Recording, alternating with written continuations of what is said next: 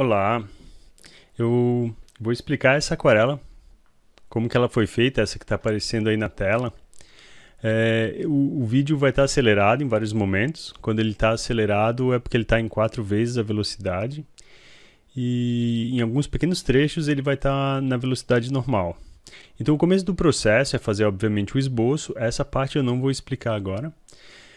É, mas depois que eu tenho o esboço pronto, eu coloco numa mesa de luz.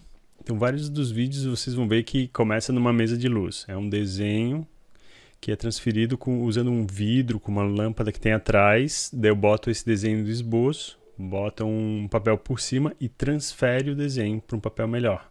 No caso aqui eu estou transferindo para um papel de aquarela, que é esse papel aqui. É um papel da Canson, nem sei se ele existe hoje em dia, ele é satinado, quer dizer que ele é liso, prensado a quente. Então ele, ele é liso, tem 300 gramas. E aqui eu estou transferindo com um, um grafite, é uma, uma lapiseira né, com grafite, transferindo folhinha por folhinha, a, as pinhas do, do pinhão e tal. É uma araucária, né?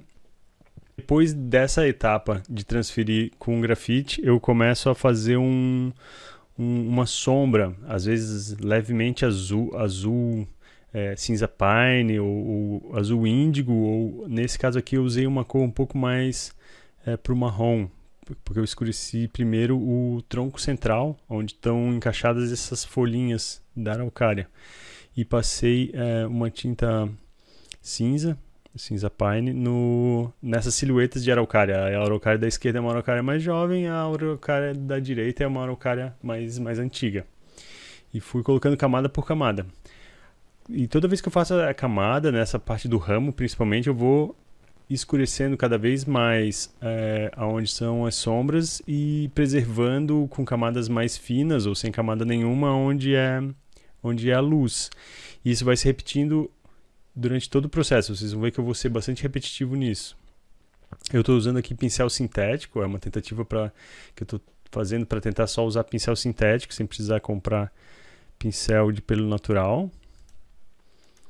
É, depois eu coloco uma camada, nesse caso aqui eu coloquei um primeiro tom de verde, mas puxando para o amarelo, pra, em toda a araucária. Eu estou usando esse pincel aí, que ele tem uma parte mais gordinha, uma parte mais fina no meio.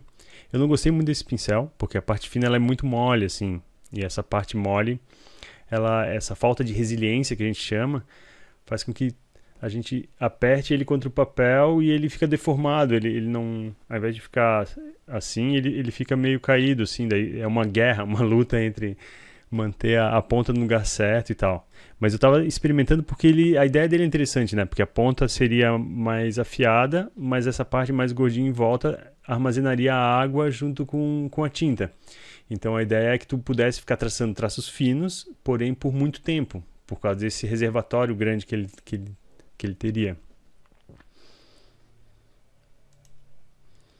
Então aqui eu vou, eu vou pegando as pinhas também, vou colocando essa camada amarela. Dá pra ver que na, na pinha eu, eu coloco uma parte mais escura.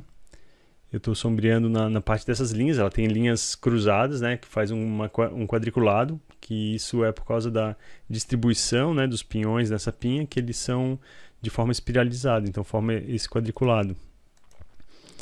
É, a, as próximas camadas, e, e vê, eu sempre estou reforçando a sombra e preservando a luz, e a sombra daí, é, essa parte mais escura, essa, essa próxima camada, eu usei um verde mais puxando para o azul do que para o amarelo.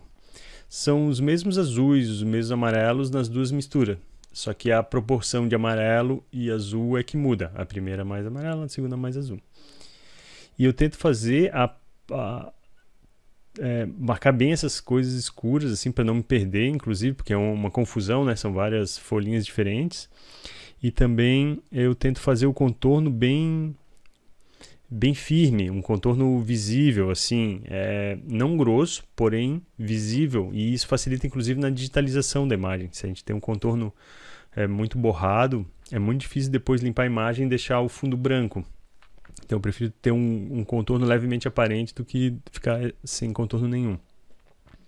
O pinhão aí eu estou fazendo também, é, escurecendo né, a parte de sombra, preservando a parte de luz. A primeira camada é meio assustadora, assim, porque eu, eu passei a, uh, o pincel ali me pareceu que, que ia manchar, mas eu vi que com as outras camadas estava dando certo. Esse papel era a primeira vez que eu estava usando para aquarela, eu já usei ele para guache. E ele é bastante diferente do que eu estava acostumado. E foi um. Até eu entender né, como é que era a dinâmica desse papel, eu sofri um pouco. Mas o resultado no fim eu achei que ficou bem bom. Ele também tem um, uns pontinhos brancos que aparecem assim quando ele está molhado, mas quando ele seca esses pontinhos desaparece, assim, o que foi um, um alívio. E aqui então a gente tá, tá, tá aparecendo mais a forma tridimensional, né, por conta desse contraste do claro e do escuro. Aqui o, to, todos os, os gominhos é, dessa, dessa pinha, eles têm a linha de sombra mais grossa na parte de sombra e ficando mais fina na parte de luz, assim. É, essa, isso dá uma sensação de tridimensionalidade, porque é esferoide, né, é uma esfera, e, e, tem sulcos. Esses sulcos são mais escuros, então eles vão ser mais escuros na parte mais perto da borda, mais perto da sombra, e mais claros perto da outra borda, que é a borda de luz. Ó, aqui tá, eu vou reforçando isso em várias camadas e também pintando cada um dos gominhos depois para eles ficarem mais individualizados, além da linha que cruza, algumas sombras perdidas assim. E é legal que essas sombras perdidas não sejam muito perfeitas, porque ele tem uma certa imperfeição na superfície. Ele, alguns vão ser um pouquinho mais escuros, um pouquinho maiores, para ter a naturalidade. Então são várias camadas no pinhão o pinhão, ele, apesar de ser bem brilhante, ele tem um, uma textura de madeira, assim, com fibras. Então é legal colocar umas linhas nas camadas de baixo e depois na camada de cima colocar um tom mais contínuo. E isso disfarça as linhas que estão mais para baixo. Para fazer essa parte, é, são pontinhos pretos na ponta de cada, de cada pinha. Eu, a gente não coloca direto no papel, né? É bom ter um papel de teste, como tá aí, assim, para testar a ponta do, como é uma coisa delicada testar a ponta do pincel antes, a concentração de água e de tinta para saber se está boa, para depois aplicar.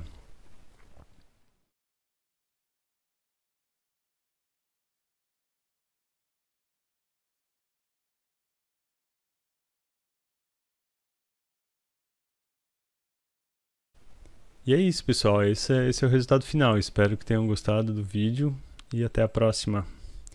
Tchau, tchau. Uh.